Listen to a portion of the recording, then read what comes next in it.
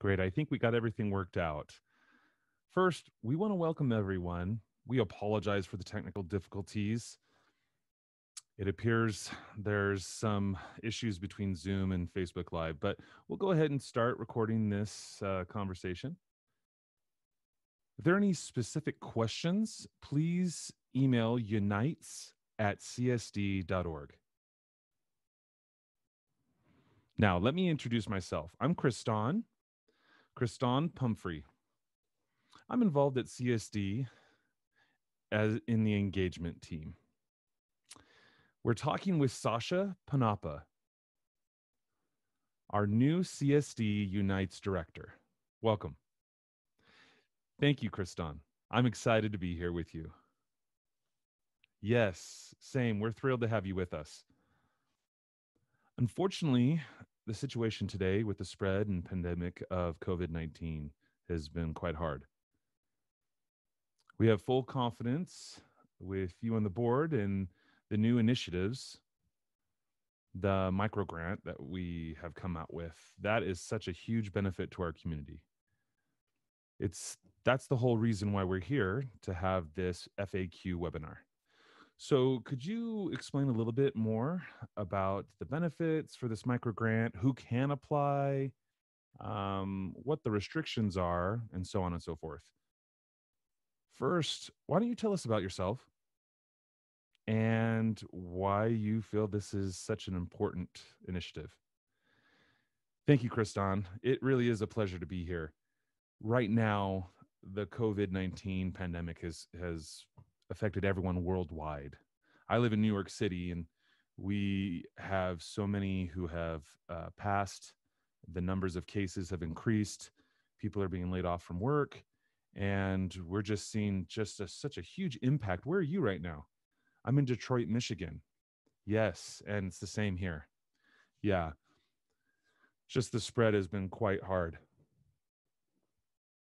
Yeah, that's exactly what we're seeing in our community. It's been definitely impacted in the deaf community, um, their health, their their jobs, employment, and CSD want wanted to create this Unites Foundation for providing support to organizations, marginalized organizations, and people who are underserved in the population. We wanted to sponsor the ability to help in those areas right now it's the right time for us to provide this during the pandemic.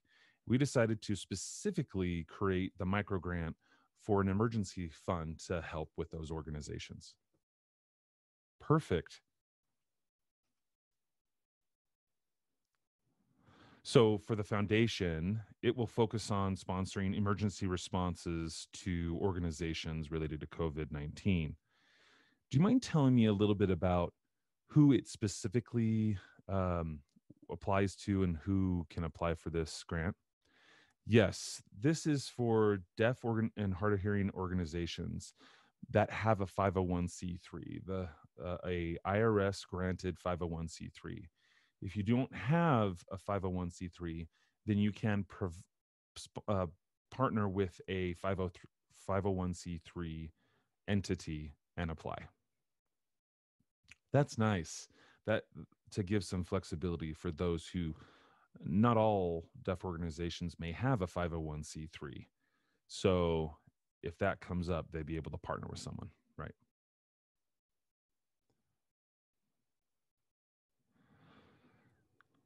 So in accordance to this grant, obviously it focuses on 501c3 nonprofit organizations. What about families and individuals? Quite a few of them have been impacted by COVID 19, maybe laid off from work. Can you explain uh, if that applies? No, this microgrant doesn't uh, apply to families or individuals directly. But indirectly, if you are someone who uh, is struggling with resources, money, layoffs. Um, after this, we'll go ahead and post where you can find resources and go ahead and contact the ASL Now COVID 19 hotline. And that hotline and then other resources will be listed in the comments after this. But this specific resource that we're talking about is for COVID 19 assistance for organizations applying for our grant. I also wanted to add a 501c3 who provides support to the community. Um, maybe they have an organization, as an organization, they have an idea to help relieve the pandemic of COVID 19. And maybe there's deaf and hard of hearing who have been oppressed and marginalized in this area. So maybe it's a deaf with uh, additional disabilities or other deaf and hard of hearing individuals. You have reason to apply for this grant um, because you're helping a marginalized deaf or hard of hearing individual. Is there a time limit? Uh, that I definitely think this is very important to to uh, participate in this. So suppose the organization itself hosts an event. Can they apply for this grant or is that different? Yeah, this wouldn't apply to that case. So if you're considering sponsorship of an event, this wouldn't work for that. This is a micro grant, which means we have uh, amounts to be able to put towards projects, proposals related to the deaf and hard of hearing community. If it's a one time event that you're hosting, this grant wouldn't be the right area for you to apply for.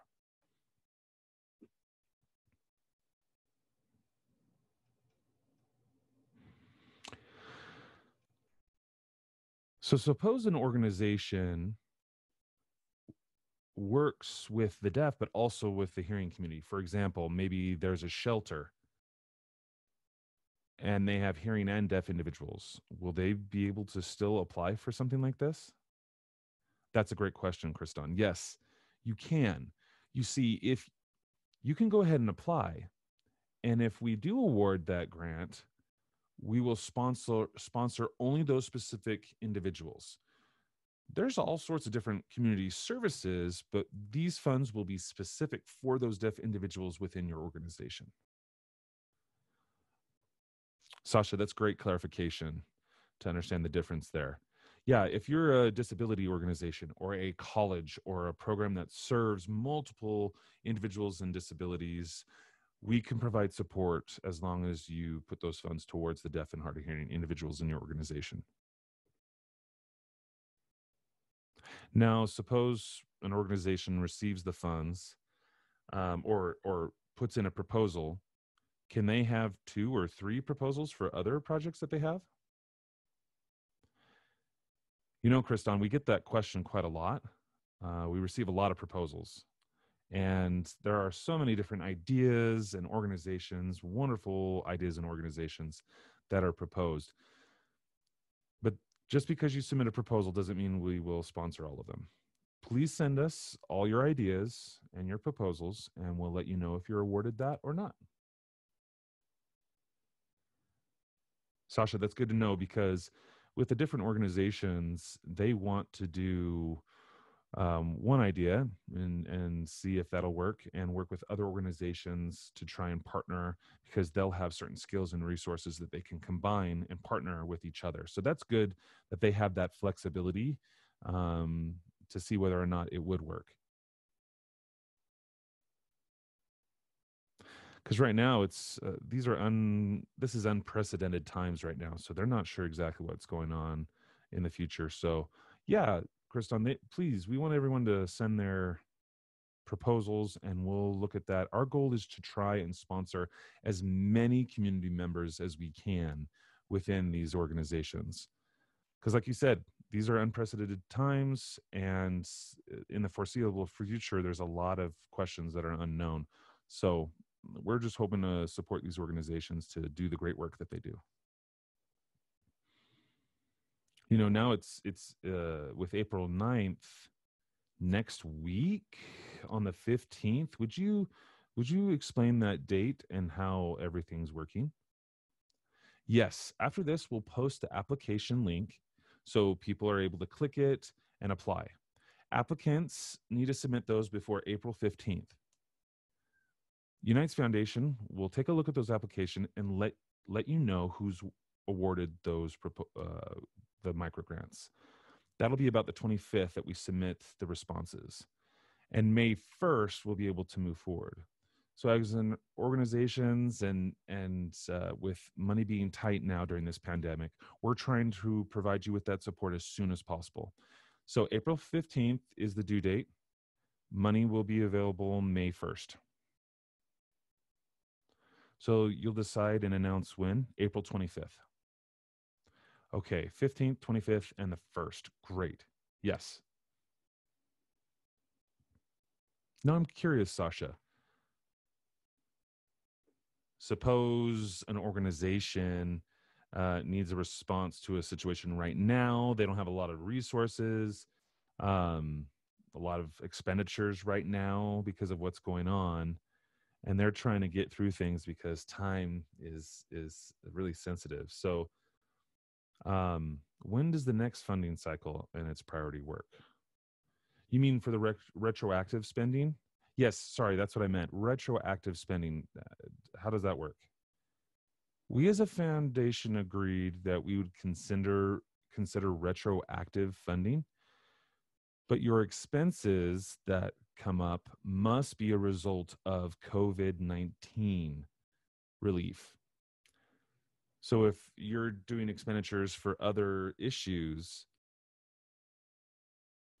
that won't work. But if it's a result of COVID 19 relief, then that would work. So before, like, uh, so there's January, December, February, that won't work. But after March 1st till the awarded date, so if the goal is to have the funds awarded May 1st, then any expenses that appear between March 1st and May 1st, we will consider uh, covering that. That will be a retroactive portion of that micro grant. Now, applicants, you must um, provide receipts, sponsors, proof, everything along those lines related to those expenses. Sasha, thank, for, thank you for clarifying that. Really, we want to thank you for taking the time to, to lead this as the director of the foundation. It's such a big need in our community and there's so many um, needs out there. And it's so great that this is specific to deaf resources. Ex- exactly. Thank you so much for giving me the time to explain the the grant. And um, we just want to encourage people to partner get together to help our community and help in any way they can. I know right now it's a difficult time. I know before we could provide services in person, you'd come into like my office or into a home and, and come visit person to person. But now with COVID 19, uh, we have to resort to virtual um, connections and and that's a transition. That can be overwhelming with internet and technology and how to access and communicate with clients and uh, all over the world. So i'm hoping that this these funds can help reduce the stress and help give you the resources needed so that those funds can transfer from help you transfer from a physical presence to an online presence and maybe include online costs um, equipment ipads things like that in the application. I know that will that can definitely help your organization. So go ahead send your proposals in and explain the details of your idea and put that into your proposal. Because again everything used to be in person and now we're transitioning to this online presence so that you're able to work with your people so we want to help with that. You know that leads to one more question i thought of victor or uh, sasha. So suppose an organization applies and they're hoping to get those funds can they also pursue pursue other funds to help cover the expanding program that they have I'm wondering, you know, or can they only do the Unites Foundation? I'm wondering. Oh, no, Kriston, we, we hope you apply for various funds for your organization. We're not sure how long COVID 19 will affect the world population. So, with all the fund streams being affected and resources being effective, affected, we've seen other states who have so many needs and and please contact us for uh, being able to get awarded funds for resources and other types of funds other than us as well. Please um, i'd be happy to share a list of other resources. It's it's always best to get as many funds to be able to support your organization members. So